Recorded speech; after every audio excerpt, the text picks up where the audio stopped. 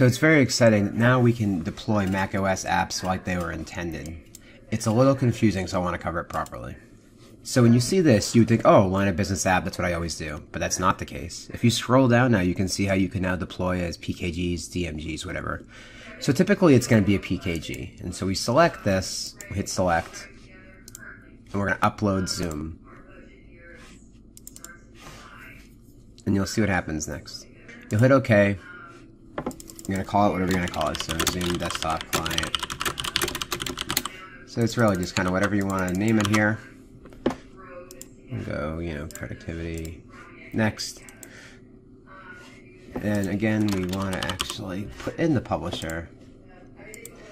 So this is a different new thing here, our pre-install and post-install scripts.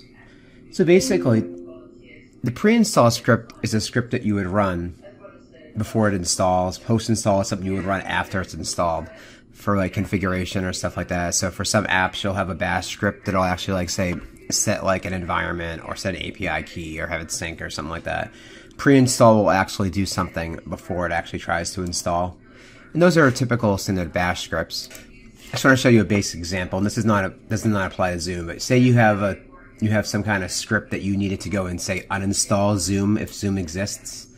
So it would do like an uninstall or a cleanup or something like that. And then you might have a, another script that would actually would configure something after that. Post post install we won't show, but you get the idea. Then you can set and say, okay, I only want this to go to say Ventura. The detection rules are interesting. So you're going to tell it to ignore the app version. And so what you can do is you can actually set this to no and you can actually modify these if you need to. So you want to make sure that app actually installs. For the most part, you can just kind of leave it as is. It's not a big deal. Then you just, you're to go in. We'll just add all devices, hit next, and we'll create.